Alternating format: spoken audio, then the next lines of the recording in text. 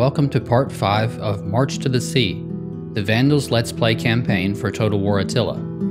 On the last episode, Giselijk, the governor of Carthaginensis, was adopted into the royal family by Godegisel.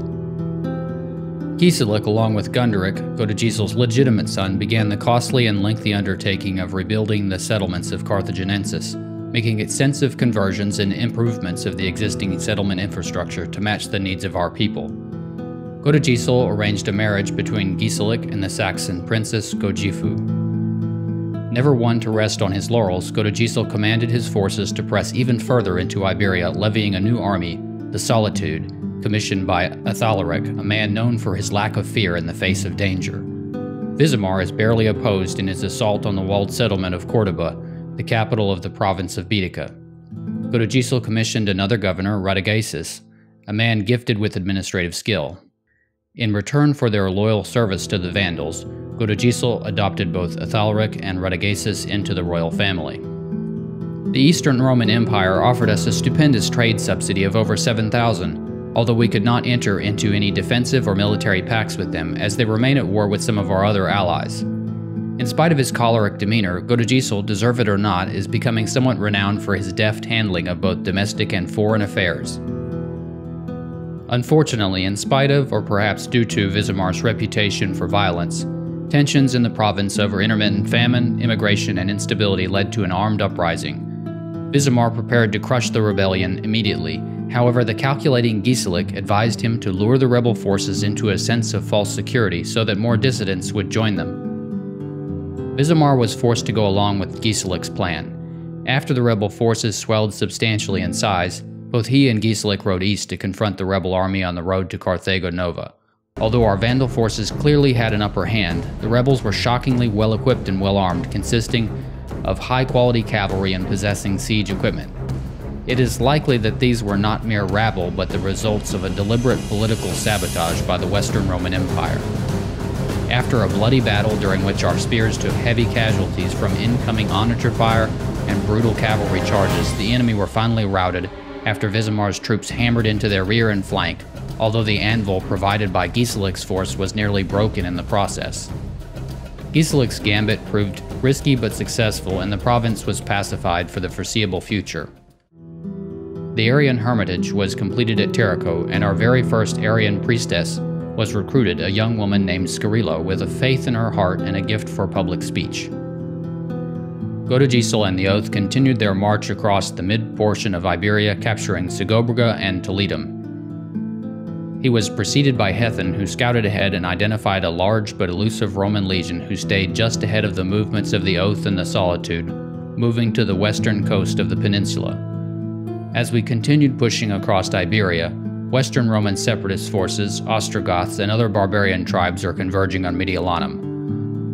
The North African tribes have reclaimed parts of the coast of Africa and the Mediterranean. The Western Roman Empire is starting to look like a wounded animal, but they may still have the strength to lash out with ferocity.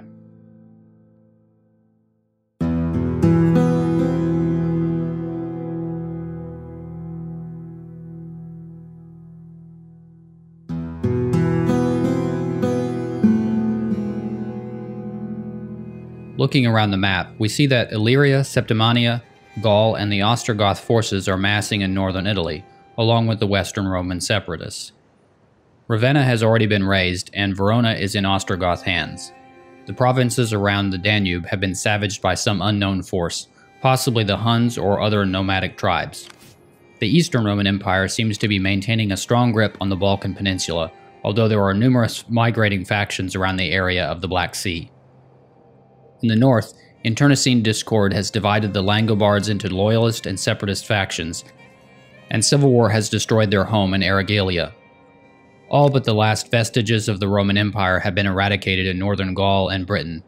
In our enemies turned allies, the Franks have made great gains, crossing into Britain and occupying Camulodunum and Lindum, while the Ebdanians and a Romanized faction of natives have occupied the remainder of Britannia Superior. The Geats have a small colony at Rotomagus, while much of the rest of Gaul is the way we left it, bereft of civilization. Godegisel's wife Galswintha attempts to convince Indulf to open his mind to the possibility of returning as Godegisel's retainer and accept his father-in-law's generosity in treating him as a possible successor to the command of the oath. Godegisel smooths over a dispute between Giselijk and Visimar, with Giselijk questioning Godegisel's decision to have Visimar raised to such a position of power given his history of impetuousness. Hethen is confounded to discover that Legio 30 has eluded him as he attempts to track their movements near Pax Augusta. Friedebald moves into Asturica but discovers that the Hispania army is off to the west on a campaign against the Roman forces at Brigantium. Leaving behind the somewhat troubled populace at Toletum, Godegisel continues his conquest at Emerita Augusta and the Roman garrison forces put up a fight, but only make a small dent in the oath's numbers. As he enters the city, we receive an unexpected windfall as apparently the Romans in the city had just completed a brand new public works project that we can adapt to our own uses. In the end, Godegisel vandalizes the newly built Roman statue, tearing it down and putting the marble to use for our own buildings. In Carthaginensis, work begins to tear down the Roman encampment and to build a new chieftain's house at Toletum. I can't afford to convert the Roman-style government buildings at Segobriga or Toletum right now. Before the end of the turn, Gunderic gets a small boost to his skills as governor of Tarraconensis, and Godegisel installs a nobleman named Liuva as governor of Lusitania, since our balance of power is becoming high enough to slightly upset the other nobles in the Vandal tribe. He immediately issues the resettlement edict in the province. Following the intern phase, we find that both Giselijk and Indolf were receptive to the entreaties made by Godegisel and Galswintha, and Godegisel immediately moves to have Indolf restated as his lieutenant in the oath. Hethen turns back from his attempt to keep an eye on Legio 30 and moves into the province of Emerita Augusta to assist with the province reconstruction.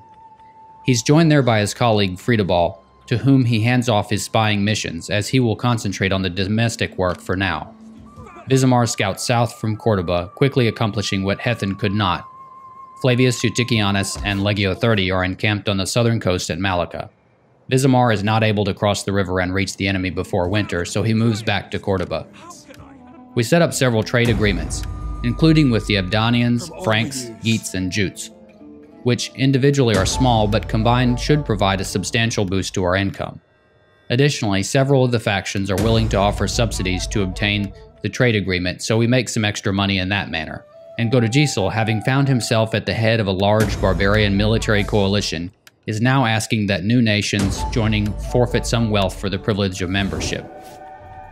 With the fruits of his diplomatic labors, Godegisel is able to finance the conversion of the Roman vicus at Toletum to a Vandal-style torp. Liuva orders the remainder of the Roman administrative buildings to be torn down and the building materials incorporated into the construction of a new granary. At Carthago Nova, the artisan workshop is upgraded to a smithy, and the sanitation at Segobriga is enhanced with the addition of troughs. Scarillo, already having begun her preaching outside of Tarraco, is already able to enhance her abilities. Arian Christianity is quickly rising in the province.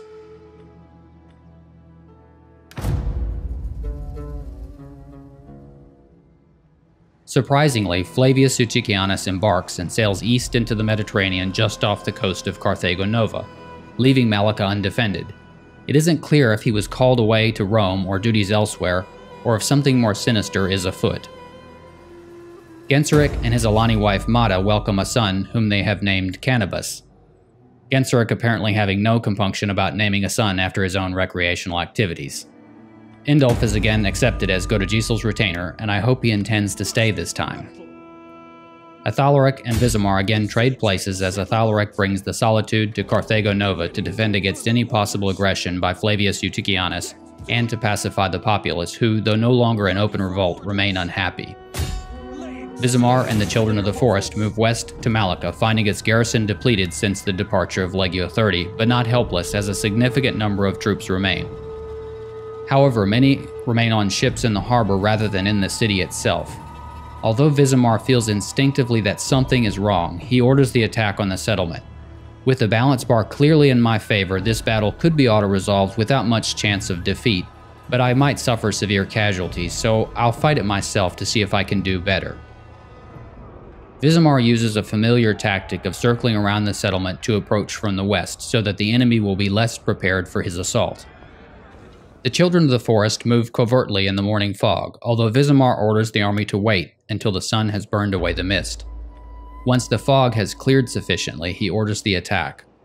I have a fairly standard setup with a long front line of heavy spear infantry backed up by melee axe infantry.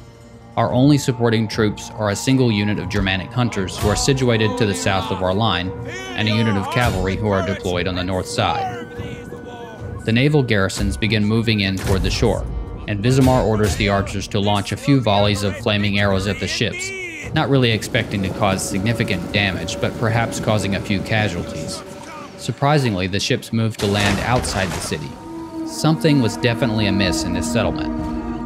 The line shifts to present the Marines making landfall with our heavy spearmen, and the archers withdraw to behind the line.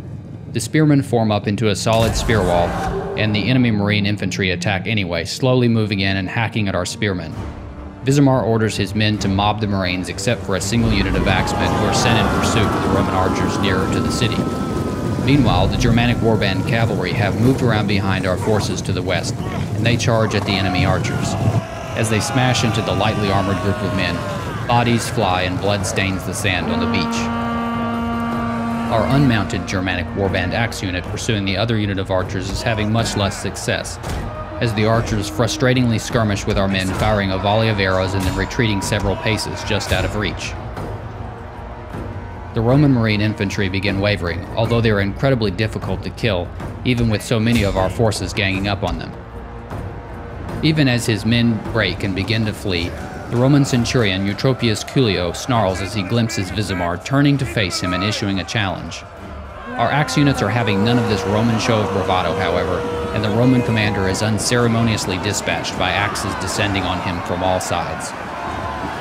Our archers have moved up and are firing without much effect at the enemy tower at the edge of the settlement, although they are managing to set a few small fires here and there. The Germanic mounted warband cavalry charge at the last remaining unit of archer marines who have nearly reached the settlement. Their fear of what is outside the settlement evidently overcoming their fear of whatever may be inside the settlement.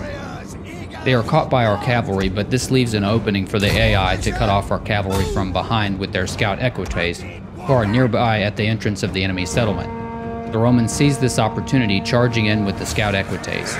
Even though our Germanic mounted warband would be more than a match for the scout equites, who are fairly poor cavalry, this pinned my cavalry in place, and I was not able to pull them out in time. Mired in combat, our cavalry come under increasing pressure from the numerous enemy, including a unit of heavily armed legio. Under duress, they break and then rout, being cut down by the scout equites before they can ever escape. Unhappy with this turn of events and feeling a bit outsmarted by a lesser foe, Visimar orders his infantry to converge on the enemy legionnaires and cavalry. The axe warband units and spears make quick work of the units presented to them at the city entrance, rapidly forcing them back. They then take control of the tower, pitching the archers occupying it over the side and then setting fire to the structure. As Visimar continues to press in with the bulk of his infantry where the main fighting is occurring at an avenue running to the northeast, two units of spearmen and a single axe unit move in from the south of the city near the docks, bypassing a hastily erected barricade to confront the enemy archers hiding behind it. Visimar is impeded in his advance along the street, which is filled with corpses, mostly by the press of men stumbling to escape the swinging Germanic axes and stumbling over one another in their flight. In the rush of battle, Visimar barely notices that some of the corpses lining the street are not fresh. Having routed the archers behind the barricade, the remainder of our infantry close in from behind, cutting off the enemy's retreat, and the result is mass carnage with the Germanic warband axes wildly hacking at the thick Roman armor looking for any opening as their victims attempt in vain to find some means of escape from their fate. With their grim business finished, Visimar orders the magistrate hunted down to complete the capture of the settlement. He is located defending the southern entrance to the walled town square with a regiment of spears. Visimar orders one unit of Germanic spearmen to hold firm in the street running south of the square, while he sends the other available unit into the square from its west entrance to circle around and entrap the enemy. Saturnius Flavius and his retinue of spears attempt to escape from the city to the west, but are met by Germanic spear wall while the other unit of Germanic spearmen move in from behind. Although a unit of Legio near Visimar briefly rally, They are quickly broken and sent fleeing past their archer comrades with the contagious panic rippling through the enemy at this point, with Saturnius Flavius yielding to Visimar's spear infantry. Or perhaps the panic itself was not contagious, but it was in response to something else contagious. Visimar occupies the settlement, although he finds the streets mostly devoid of citizens, and there are several cartloads of bodies which appear to have been hastily piled up for removal from the city, although the task was obviously not completed. Gathering his troops in the town square, Visimar looks around, unable to find his retainer, Genseric, Godegisel's son and heir, asking the men present, Where is Genseric? He initiates a search for the Vandal prince, offering a handsome reward for locating him. Just before dusk, he's approached by an archer with downcast eyes.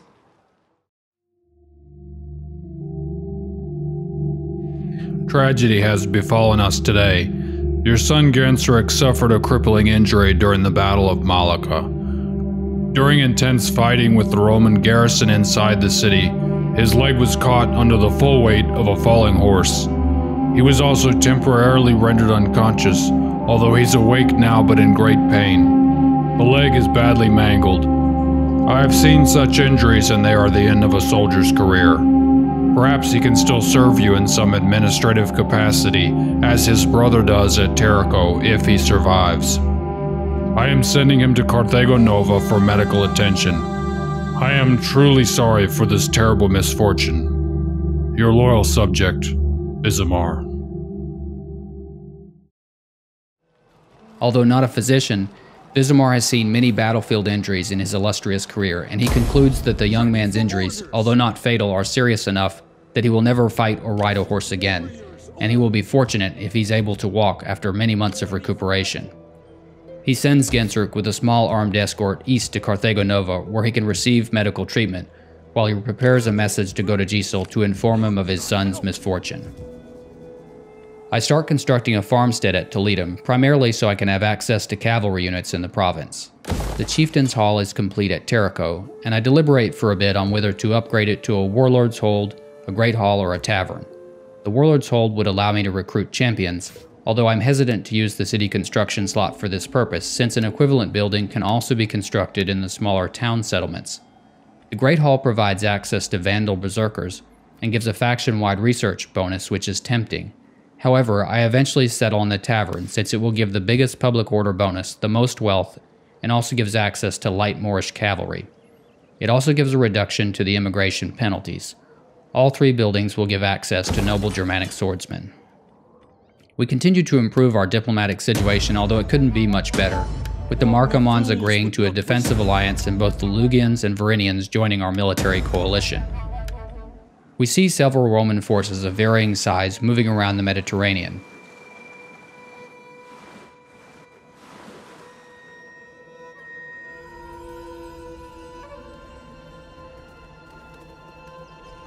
It is now 404 AD, and we find that the Romanized British faction has been eliminated by someone, perhaps the Franks.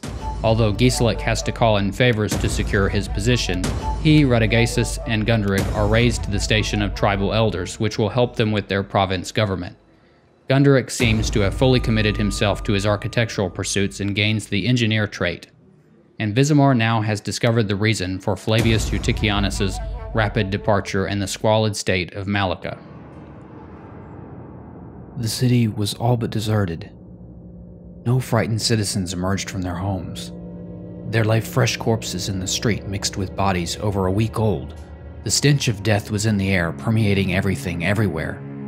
We entered one of the houses and found a group of people laying on the floor. Most of the people were still dead or comatose. A few moaned or wept silently. Athanaric dragged one into the light so we could see her. She was young, perhaps adolescent. Her skin was covered in flat pustules and sores. She was hardly moving. I asked him not to, but Athanaric pulled another one to the doorway. The skin of this one was purple, blotchy, and dark, like a clot of blood. He was not moving at all and did not appear to be breathing. At this time, Visimar came to the house and, seeing the people on the ground, ordered the door shut and barred, and anyone who touched one of the afflicted to be shut inside with them. I'm told we're leaving at once and will not return until the pestilence has passed.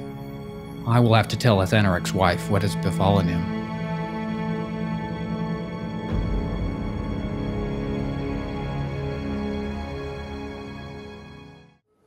So it seems there's been an outbreak of pestilence at Malaca. I start converting the fruit dryer to a grape press which has less squalor. And although it provides considerably less food, it has a slightly larger public order bonus and provides much more of the wine resource for trade. I start tearing down the cavalry corral to make room for a sanitation structure, and Vizimar frantically orders his army to leave the settlement at once, force marching them across the river and not stopping until the children of the forest reach Cordoba. Skrilo is again able to improve her skills, becoming even more adept at inspiring the populace. Having saved many souls in Terracos, she moves into Segobriga, taking time to speak with the people there about Arian Christianity as she travels on her way to the more war-torn provinces of Iberia who truly need her soothing words. Since Genseric is no longer with the Children of the Forest, I spend the numerous skill points he acquired while he was Vizimar's retainer. I also take a moment to upgrade Radagaisus' skills, and then I end the turn. Flavius Eutychianus moves back to just off the coast of Carthago Nova with his legion and a small naval escort. With the threat of Roman attack by sea, seemingly imminent, Genseric is struck by an idea. Giselijk, I know I will never be able to fight in my father's army again, and although I know he'll take pity on me for my injury, I do not want his empathy. I've learned too much and come too far in my travels to resign myself to be ruled by infirmity. I will lead our people to new lands and even greater wealth. I know I'm just a man, but I speak these words in sincerity. How are we to accommodate you then? There is a tree which grows here called the larch, and you have much of its timber. We will gather shipwrights here to Carthago Nova and we'll build a navy. My brother Gunderic can help you with the details. He has a talent for such things. We'll hire mercenary captains for now to train our marines until we can develop a proper navy. In this way, I will earn my father's admiration, the respect of our people, and the right to govern our new empire. There will be great cost in this endeavor. Do not worry about the cost, Giselijk. I understand your concerns. Although I cannot assist with the physical labor, I will help with the resource allocation and the ledgers. I do not mean to boast, but I have been told I have excellent penmanship.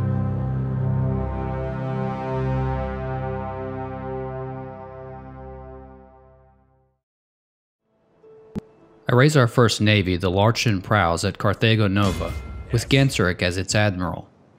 Genseric orders the recruitment of as many ships as the province will sustain, and I also hire mercenary artillery and assault Liburnians for now, since we don't have access to those units yet.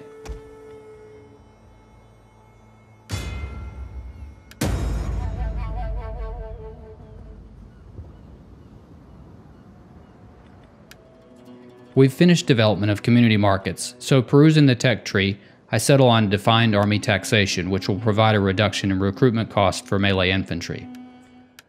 On the diplomacy panel, I continue shaking down the friendly factions for a few extra coins as the Jutes, Caledonians, Marcomanns, Franks, and Gepids join our military alliance. I take a look at the objectives panel to see how close we are to a minor victory, given our numerous allies, and it's actually not that far. We require 30 settlements, and we now have 26 between the ones the Vandals have captured in Iberia and those of our allies. We'll still need to get four more and to hold the entirety of Galicia and Baetica, and we'll need to hold on to all of these allies until 425 AD, which might not be possible. At Malaca, which is still suffering from disease, I go ahead and start converting the fishing jetty to a trade jetty. I also start upgrading Tarraco to a small city. Friedebald moves back toward his palace. I think the time has come to start scouting Africa, so I will move him across the Strait of Gibraltar next turn. Due to the perpetual state of provincial instability I have in Iberia from the constant military actions that have been going on for the past four years, my armies have to stay put, and there's little else I can do. I upgrade Liuva's skills and then end the turn. Instead of attacking at Carthago Nova, Flavius Eutychianus and his naval escort are joined by another sizable Roman legion, and they sail to just off the coast of Malaca.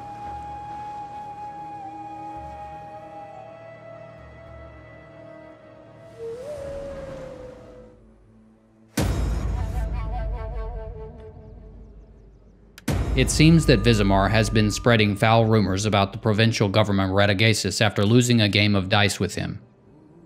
Vizimar tells his men that Radagaisus cheats at dice and that he is a pisser-bed, cod-nibbling, rotund hoof merchant.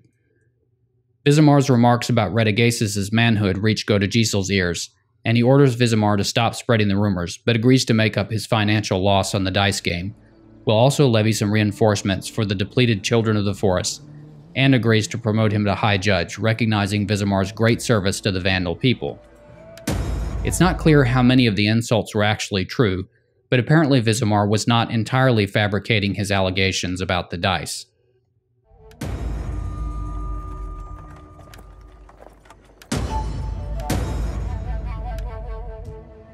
Vizimar adds a couple of regiments of Germanic hunters and a new onager to his force, while Genseric continues building ships for the Larchen prows.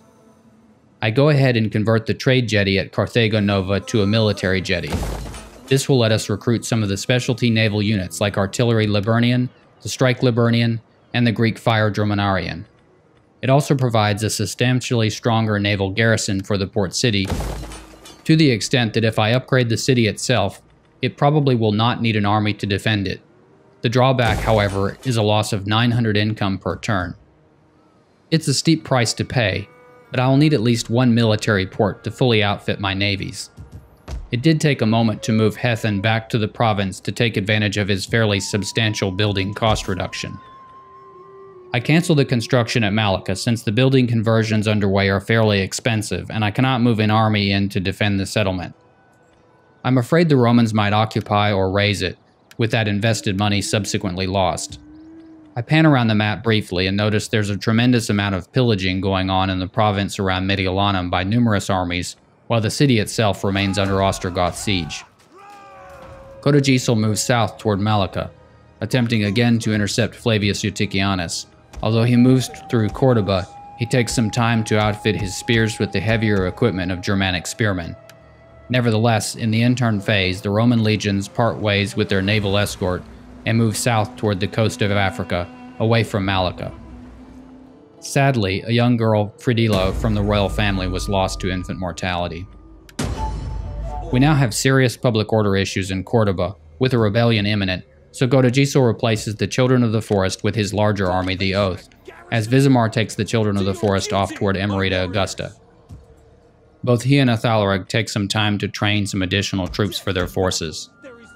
Scarilo finally makes her way to the war-torn and disease-ridden province of Baetica just in time, deploying her Inspire Populace ability to get the public order change at least back to neutral. I also move Hethen into Malaca, and get back to work converting the fruit dryer and the fishing jetty. And I also start constructing a well in the empty construction site. With the public order fires put out, at least for the moment, I end the turn,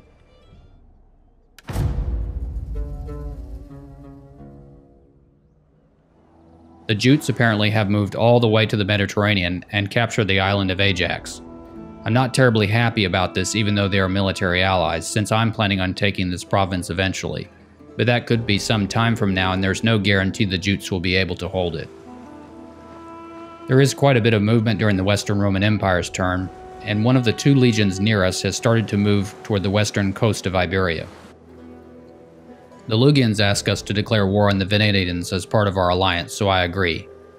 It actually doesn't make much difference to me, but the Venetians are far away and no real threat. It's now 405 AD, and I move Hethen back to Carthaginensis to upgrade the Chieftain's Hall. Friedebald is now in northern Africa, and he discovers a Mauryan spy near Tingis, which is garrisoned by Legio 30. Godegisil moves back to Emerita Augusta, hopefully to continue pushing toward the western coast of Iberia once the provincial order is stabilized. Vizimar garrisons Cordoba and recruits one more unit each of Germanic hunters and Germanic warband. Genseric recruits still more ships, while disbanding the mercenaries. Giselijk and Gunderic are each nominated to be raised to the judge position.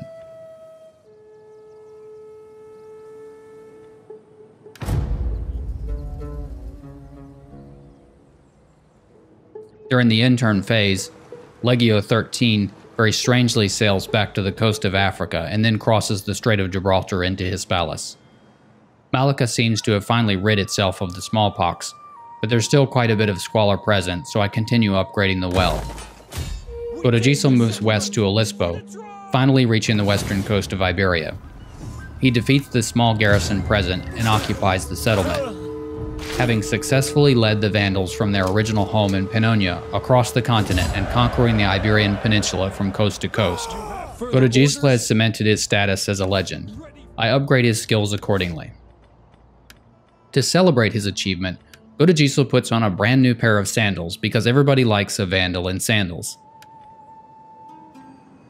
With Vettius Tranquillus having landed on the southern coast of Iberia at Hispalis, Wisimar quickly mobilizes his forces, assaulting Hispalis in a daring night raid before the Roman legion has the opportunity to bolster the settlement's defenses. The Children of the Forest occupy the settlement, and Wisimar institutes a brutal military crackdown on the populace.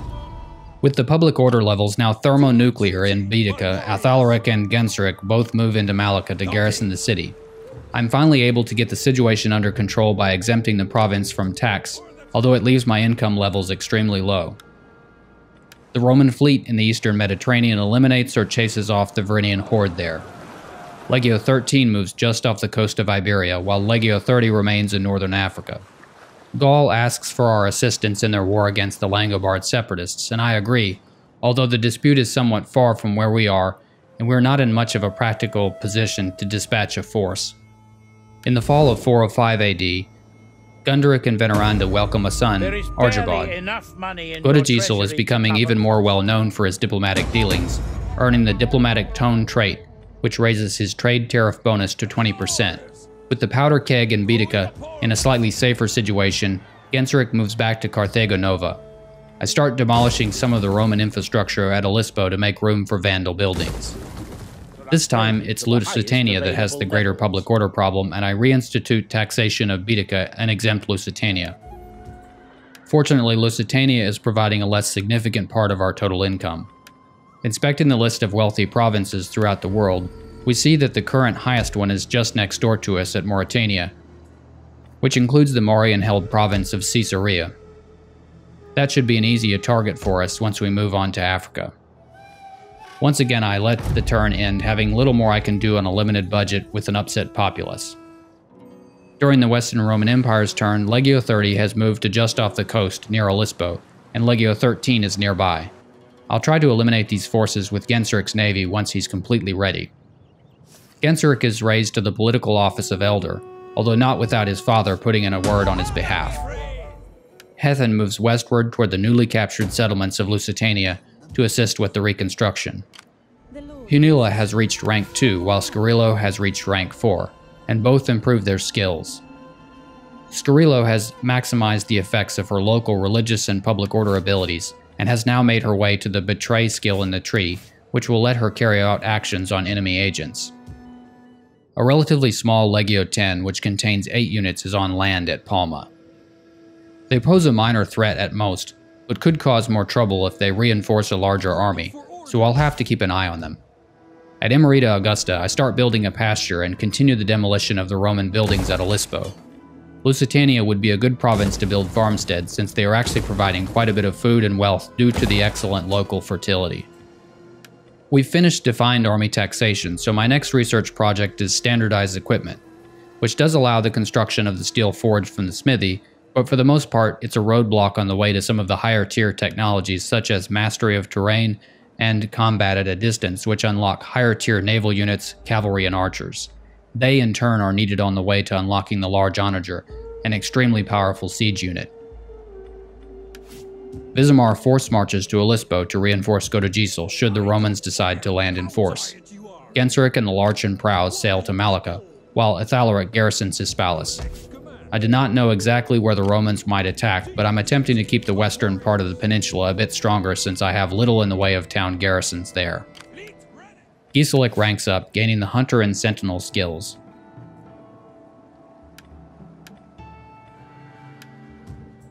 Friedebald scouts further east across the northern coast of Africa.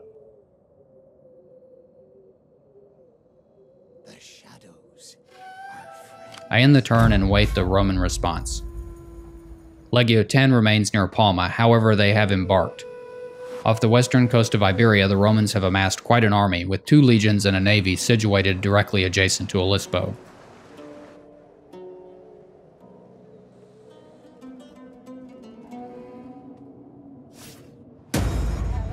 We receive a new mission to learn the Manual Lands technology in 9 turns in exchange for a civil research bonus. On the diplomacy map, I can see that the Ostrogoths have finally taken Mediolanum. The southern provinces of Italy, including Rome itself, remain in Western Roman hands, but they are fading fast, having declined in strength ranking to 3, while the Vandals have risen to rank 4. And the Western Roman Empire has about as many enemies as we have allies, and only 16 provinces left.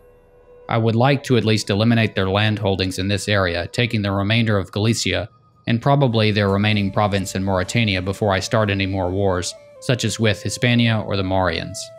Friedebald moves further into Africa to the gemstone cutting province of Dimity. Although I greatly desire this resource, these cities look fairly well defended with the buildings being in the Tier 3 range. A more reasonable man has taken the throne for the Geats, for while they still remain aggressive and temperamental by description, he does finally agree to join my military alliance. They are of comparable strength to us, so I think this is actually a fairly important alliance to get. We also add the Iazyges, and I'm not sure the military ally column will hold many more icons. The Roman buildings have been cleared away at Olisipo with the exception of the Vicus, so I start building a farmstead given the excellent region fertility. I also start constructing a well to improve the sanitation province-wide, and begin the conversion of the fishing jetty to a trade jetty since we won't need the food with the farmstead. Wisimar and the Children of the Forest stay near Olisipo, reinforcing Godigisel and the Oath, who continue to garrison the settlement, while Genseric and the Larchen Prows manage to sneak past the Roman force to the port of Olisipo.